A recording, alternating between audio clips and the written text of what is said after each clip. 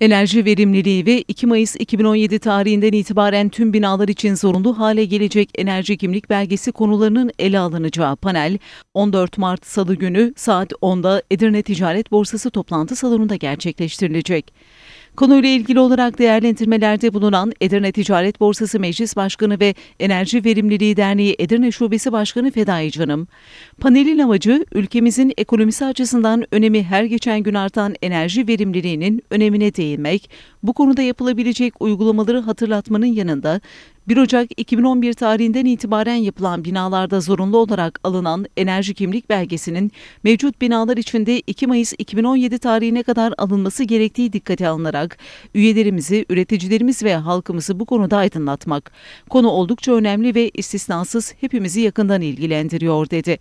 Panel kapsamında enerji yöneticisi Hüseyin Erkin tarafından enerji verimliliği ve Edirne'de enerji, EVD yöneticisi Melek Aydın tarafındansa enerji kimlik belgesi mevzuatı konularında bilgiler aktarılacak. Panel, Edirne Ticaret Borsası ve Enerji Verimliliği Derneği Edirne Şubesi işbirliğiyle organize ediliyor.